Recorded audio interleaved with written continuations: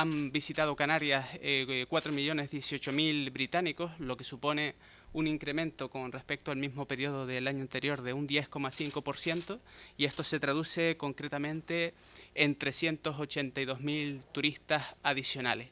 Y lo mejor de todo es que eh, además mm, no solo contamos con más visitantes, sino que ratios importantes como lo pueden ser los niveles de ocupación, rentabilidad y, quizás el más importante de todos, creación de empleo, también eh, han mejorado. Concretamente, en cuanto a creación de empleo, en el mes de septiembre contamos con 10.000 eh, puestos de trabajo adicionales con respecto a los que teníamos eh, hace un año. Sin embargo, también hay que decirlo, eh, este, este escenario no está exento de, incertidumbre, especialmente motivados por la evolución del Brexit. Es un fenómeno que evidentemente hay que tener en cuenta.